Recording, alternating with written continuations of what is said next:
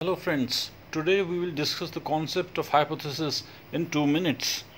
So let's start. What is hypothesis? Hypothesis is a tentative statement about the solution of the problem.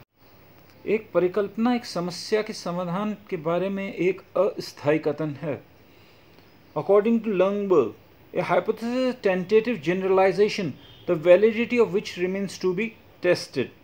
Hypothesis एक tentative या temporary generalization है, जिसकी वैधता को हमें टेस्ट करना होता है।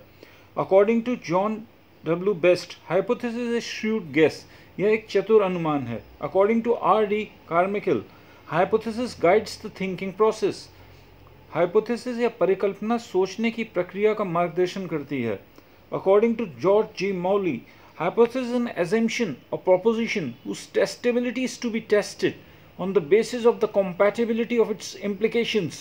With empirical evidence, with previous knowledge.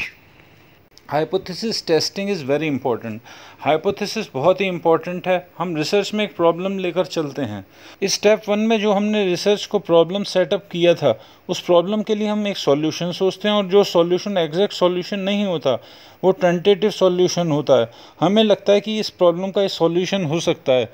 ये वैलिड नहीं है, लेकिन हम एक एजम्पन या प्रोपोजिशन एक धारणा या प्रस्ताव लेकर चलते हैं। फिर इसकी टेस्टेबिलिटी हमें चेक करनी होती है। इसी को हम हाइपोथेसिस टेस्टिंग बोलते हैं।